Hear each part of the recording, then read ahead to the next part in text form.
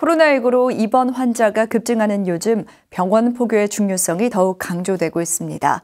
불교의 병원 포교는 기독교에 비해 활성화가 더 필요한 실정인데요.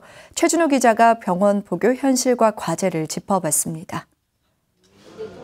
병원에 입원한 환자들은 외로움도 쉽게 느끼고 비관적 상태에 있는 경우가 많습니다. 특히 코로나19로 면회조차 어려운 요즘 홀로 병상에서 연말을 맞이하는 환자들은 심리적으로 더욱 힘들 수 있습니다. 부처님의 따뜻한 자비를 환자들에게 베풀어야 하는 병원 포교가 더욱 절실한 이유입니다. 하지만 불교의 병원 포교는 타 종교에 비해 아직 빈약한 상황입니다.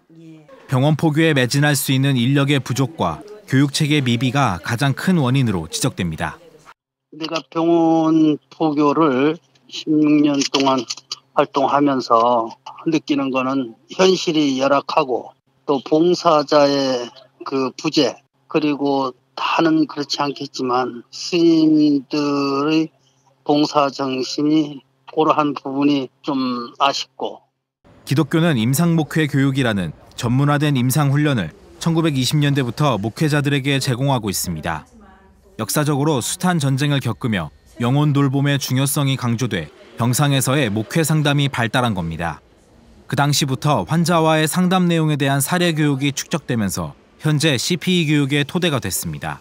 우리 스님들이 중생들을 돌보려면 어떤 교육이 필요하지 않습니까? 그런데 1920년대 생길 때에도 보통 대부분은 설교 위주의 교육이었대요. 그런데 사실 전쟁이라든지 이런 걸 경험하면서 사람들한테 필요한 게 상담이라는 걸 아는 거예요. 불교에서도 전문적인 병원 포교 상담 교육을 진행하려는 노력이 진행되고 있습니다.